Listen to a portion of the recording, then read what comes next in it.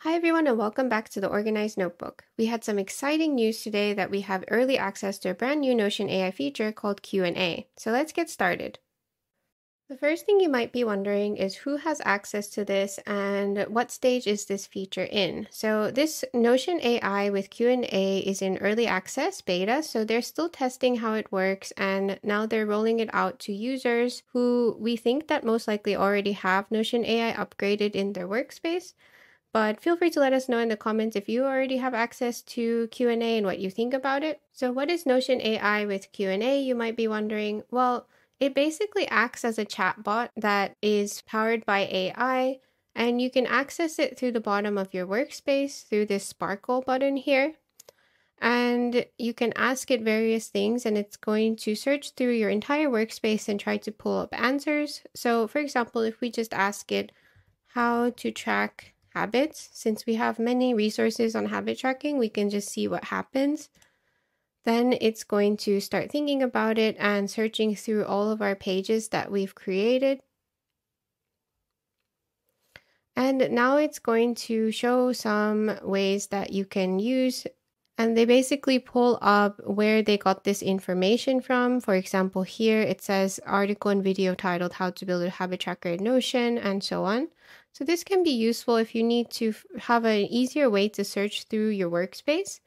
And the other way you can access this Ask Notion AI, this Q&A feature is through the search function in the sidebar. So if you go to the sidebar and then go to search, now you'll see this new thing called Ask AI Anything in the Organized Notebook, and you can ask the same thing here. So how to track habits.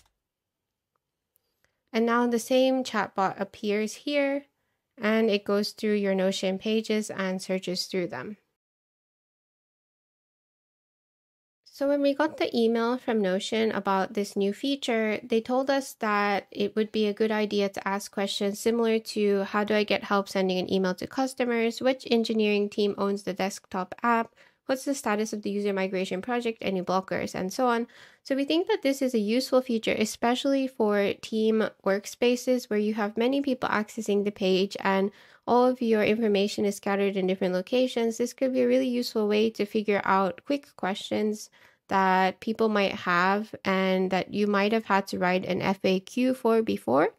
And here are some of our thoughts about this feature. So, in general, we're very excited about this, but it does have its limitations. So, if we ask things that are a little bit more complicated, like what are our goals this year, there's just so many pages that it has to sift through that it can be kind of difficult to find the correct answer, especially if you have many different pages with many different informations. So here it says, I'm sorry I wasn't able to complete this query. Please try asking me a different question. So we think that one of the biggest things that needs to happen with this Q&A feature is that you can you should be able to limit which pages that this applies to so that you're not searching through your entire workspace that might have information across all different projects and so on. So that would be one of the things that we would be hoping for in the future. The other thing we were thinking about is that this could be a useful feature inside shared pages, especially when you do share to web. So if you have customers accessing your Notion pages through the web, and they need some quick help, it could be really nice that this Notion AI uh, Q&A could be enabled for those pages. You could end up helping your customers through the chatbot instead of getting a lot of emails. So those are some of our thoughts about this new Notion AI feature Q&A. We think this has a lot of potential since it's still in early access. What are your thoughts about this and have you tried it yet? Let us know in the comments below and see you in the next video.